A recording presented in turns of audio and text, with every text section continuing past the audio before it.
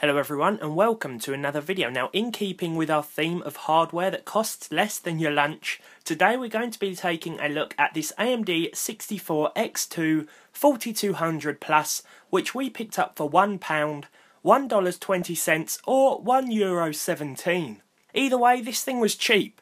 Originally released in 2005 as a 939 socket CPU, then again as a socket AM2 CPU a year later, this was one of the first dual-core desktop processors from AMD. Annoyingly, although I ordered the AM2 version, and it says AM2 on the label, it was the 939 version that turned up, which meant I had to borrow an older motherboard and was limited to using DDR RAM. Specifically, only 4GB of the stuff. Thankfully, I was able to stick with the GTX 1060 for benchmarking, and after switching to Windows 7 for a guarantee incompatibility, it was time to test some games. Now I know there's a huge bottleneck, but it meant that the CPU could reach its full potential here, and although we couldn't get the hardware monitoring software to work today for some reason, I can confirm the CPU was running at 100% load almost all of the time, and we still managed to get fraps running so that you could see the frame rate. So let's get into it. We started with Crysis 3 and as today was about pushing this old CPU to its limit, we stuck to 1080p throughout but turned the settings down to the low preset so that we could actually play the game suitably and record.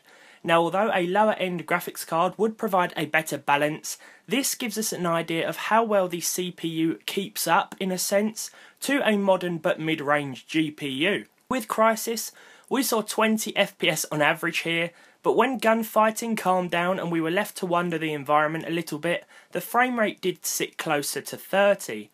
Dirt Rally next, which I've always regarded as a very well optimised game, and today it came through for us again, returning at 55 FPS on average, with the benchmark test here and the ultra settings preset.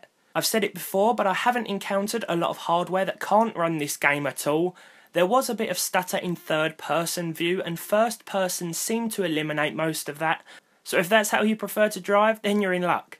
Next up it's Fallout 4 again at ultra settings and despite the constant stuttering and frame drops, the game averaged out at 30 FPS.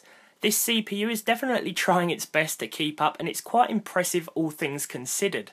I should also mention that this result was very similar, even when we changed the settings and resolution to low with 720p, which yielded the same sort of average. So if it's going to stutter at 720p, we may as well crank things up all the way to full HD. Finally, we tried out League of Legends with the very high graphical preset with absolutely no problem, and averaged 120 FPS throughout. This result gave our CPU a little bit of a break and less demanding games like this one would still run fine as they don't require much CPU or GPU power.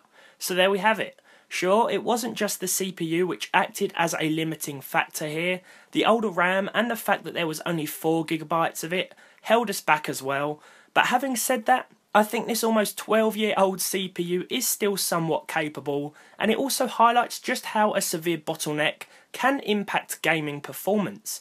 If you're looking for a CPU that would sit well at the centre of a basic home build or light gaming system, this would do just fine, and despite going back and trying out all the games at lower settings and resolutions, we didn't see much of an improvement for those of you wondering. So guys, thank you so much for watching this video. I hope you enjoyed it. If you did, leave a like down below. Leave a dislike if you didn't enjoy it all that much. Subscribe to the channel if you haven't done so already. And as always, I hope to see all of you in the next video.